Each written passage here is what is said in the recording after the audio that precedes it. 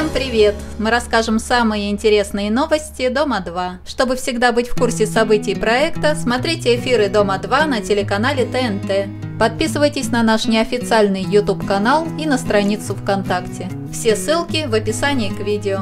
Алексей Чачец сделал выбор между Лерой Коваленко и Лизой Триандафилиди. Он решил строить дальнейшие отношения с Лизой, но в Лере ему не понравилось высокомерие и холод. Марина Африкантова готовится к пластической операции. У нее скоро будет бюст третьего размера. На остров любви вылетает Катя Жужа. Она сменит на посту Юлию Ефременкову. Наталья Варвина заявила о своем уходе с проекта. Она со слезами попрощалась с ребятами. Ходят слухи о том, что Антон Гусев и Вика Романец получили предложение вернуться на проект на правах полноправных участников. Будет очень странно, если они все-таки вернутся, потому что Антон несколько лет назад заявлял, что ему нечего делать в пристанище алкоголиков и развратных женщин. И он не хотел бы, чтобы на него тыкали пальцем, как на обезьяну, и кричали, что он из дома 2. Ходят слухи и про Женю Феофилактову. По мнению многих, она находится в интересном положении. Именно поэтому поспешно переехала в дом своего возлюбленного. Также в Инстаграм она разместила сторис, где спрашивает у своего сына, кого он хочет больше, братика или сестру.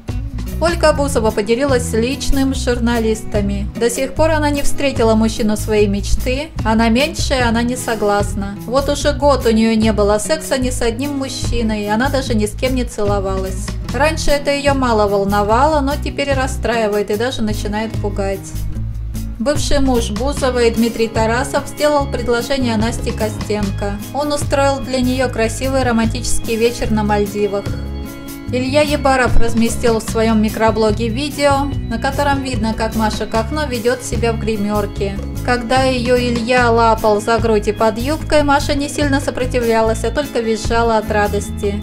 От такого внимания она выглядела очень довольной. В сети ходят слухи о новом романе Кахно. Она сама публиковала это фото с новым молодым человеком.